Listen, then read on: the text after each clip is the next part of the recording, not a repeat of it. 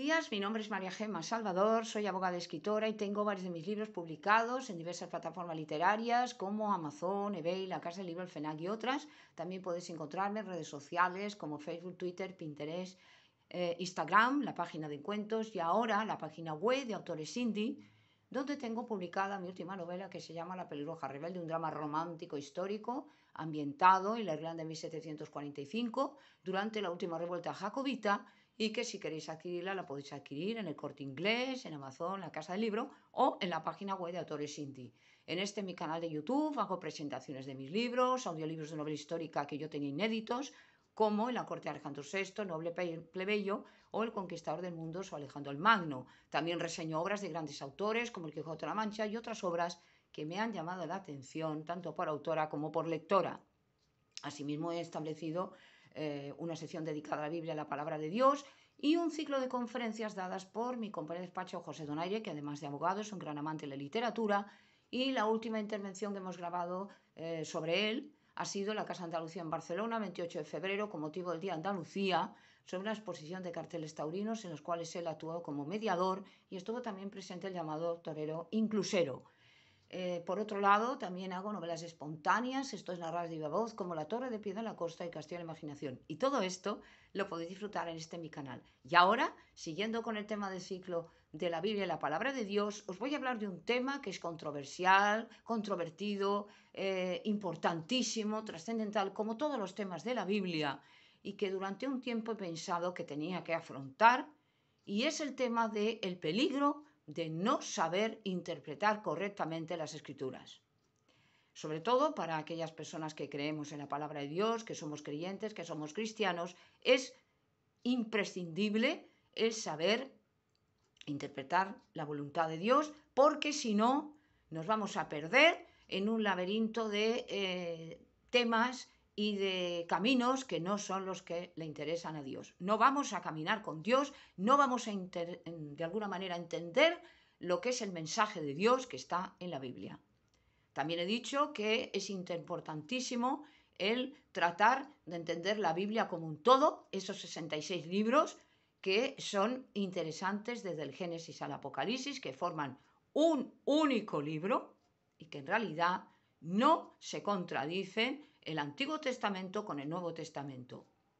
Eso requiere un estudio profundo, una exégesis, eh, el hablar de lo que son las profecías, las promesas de Dios y, evidentemente, escuchar a personas que están muy preparadas como el profesor, el teólogo, el doctor Baruch Korman del Instituto Sera Abraham de Israel, que efectivamente sabe lo que está diciendo y estudia la Biblia versículo por versículo, capítulo por capítulo, libro por libro. Y además, como es hebreo, como es israelita, nos habla efectivamente de cómo se escribió la, Biblia y esa interpretación que es la que le interesa a Dios, que entendamos. Las traducciones se pierde muchas veces eh, elementos de interés y hemos de estar atentos efectivamente a lo que puede ser la interpretación correcta, porque también lo he dicho muchas veces que no es de interpretación libre y que la Biblia solamente tiene una interpretación que es la que exactamente está en la Biblia. Por lo tanto, tengamos cuidado con esto, porque muchos teólogos, incluso cristianos, incluso pastores de la Iglesia, ya sea por ingenuidad, ya sea por no haber profundizado bien, ¿qué es lo que hacen? Interpretar no correctamente las escrituras. Y aquí no estoy yo diciendo que yo lo haga perfecto, lo haga bien. Lo único que estoy haciendo es advertir que se tenga cuidado. Entonces, mm, muchas veces por ignorancia o por ingenuidad no se da la interpretación correcta. Por ejemplo, he escuchado muchas veces que eh, ya Dios no tiene nada que ver con la nación de Israel, ya terminó y ahora otros tiempos, otras modas. Y esto no es verdad. Sabemos que la nación de Israel es importante para Dios porque a partir de ahí es como efectivamente después se va a salvar la humanidad. Por lo tanto, Dios no ha terminado con la nación de Israel porque la tiene presente.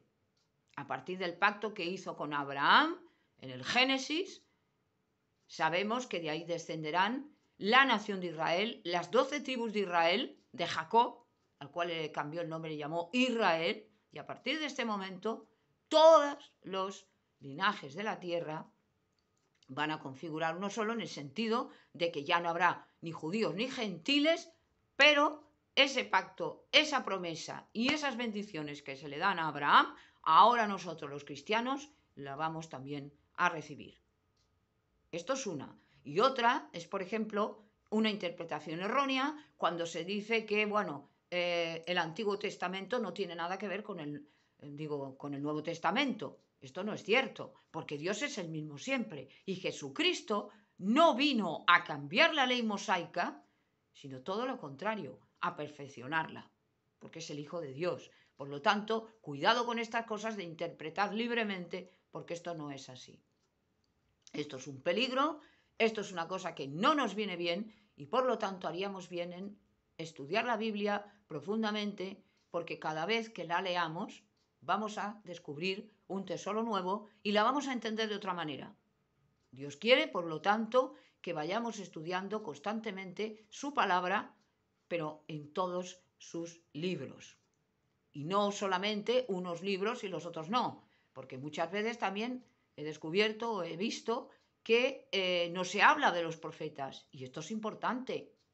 Los profetas son hombres de Dios y mujeres de Dios, que también las hubo, que son imprescindibles para que nosotros entendamos la palabra de Dios. Porque esas preguntas que se hicieron ellos también son las preguntas que nos podemos hacer nosotros. Eran seres humanos y aunque evidentemente no vivieron en nuestro tiempo, los problemas, aunque nos parezca mentira, eran iguales o parecidos. Cuando el profeta Habacuc le dice a Dios, ¿hasta cuándo, Señor, me vas a dejar ver todas estas injusticias, todas estas calamidades? Nos podríamos hacer la misma pregunta. Ante un mundo caótico, un mundo equivocado, un mundo sucio en todos los sentidos, que es el siglo XXI, que estamos viviendo, aunque ya el siglo XX también estuvo lleno de calamidades, de guerras y de desgracias, uno se pregunta, bueno Señor, ¿hasta cuándo va a seguir esto? Porque no olvidemos que cada uno, cada persona es hijo de su generación y está viviendo este siglo, estamos viviendo un clima de inestabilidad en todos los sentidos, política, económica, eh, de mala salud física y espiritual, amenazas constantes, el clima, un calor espantoso, ahora una plaga de chinches en París. O sea, unas cosas que dices, bueno, ¿qué está pasando? Y todo esto tiene un nombre que se llama pecado. Ahora, no confundamos que es verdad que el hombre ha destruido la naturaleza y ésta se está vengando, pero no todo se debe a la acción del hombre. Y aquí es cuando nos damos cuenta de que se está cumpliendo la palabra de Dios. Si no sabemos estudiar bien la Biblia, yo la primera puedo cometer errores y los cometo, evidentemente, si no hacemos un análisis profundo, si no escuchamos a los que realmente saben del tema, como los grandes teólogos, nos vamos a perder vamos a empezar a decir cosas que no tienen sentido y vamos incluso a extraviar a otros. Pero no porque nosotros seamos importantes, que no lo somos, porque nadie es imprescindible, sino simplemente porque el Internet tiene un poder tremendo. Y luego mucha gente que se deja llevar y la palabra tiene mucha fuerza. Entonces, utilicemos la palabra de Dios para intentar salvar las almas. Lo he dicho y con esto termino hasta la saciedad, que no hay, y lo sigo pensando, que no hay gloria más grande, ni honra más grande que ser embajador de Cristo. No hay honra más grande. Ni presidente del gobierno, ni rey, ni reina, ni millonario, ni, ni la gloria, ni el poder, nada se puede comparar a esto. Porque es un privilegio que nos da a todos aquellos que estamos bajo la sangre de Cristo, que nos hemos convertido a Yeshua Mashiach, al Salvador del mundo, al Mesías, y esto es algo que puede hacer cualquiera. No es porque nosotros seamos privilegiados, sino porque todo el mundo está invitado, porque para Dios no hay mimados ni consentidos, no hace acepción de personas, todos estamos llamados al reino de los cielos.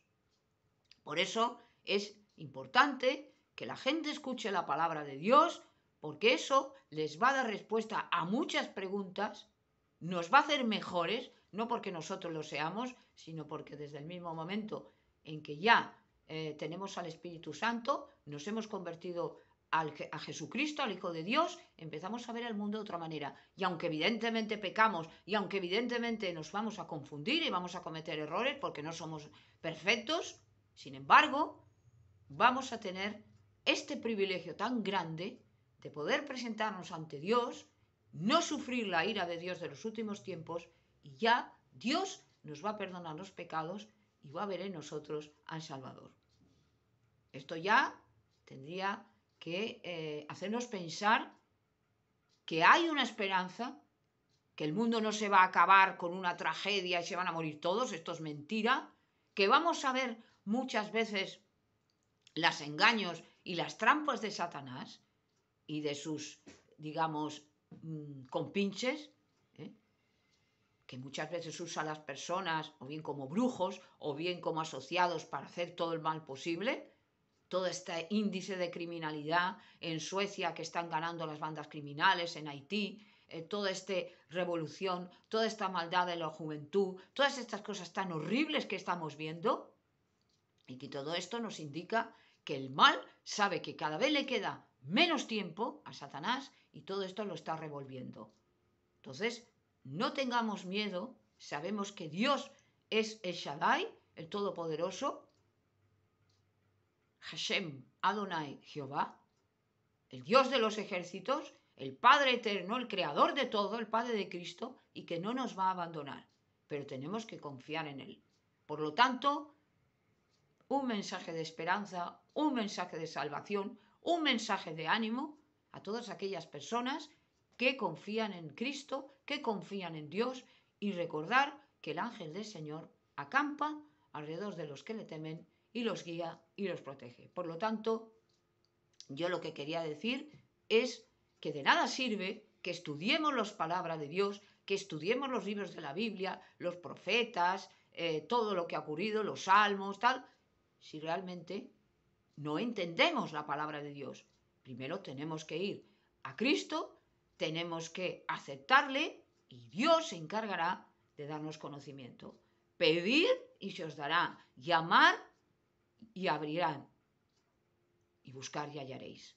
Por lo tanto, esto es lo que quería decir, que no es de interpretación libre, la Biblia, que se ha de entender como un todo, que no separemos un libro de otro y pensar que Dios siempre es exactamente el mismo. Y esto es lo que quería decir sobre el peligro de no interpretar bien las escrituras y gracias por haberme escuchado.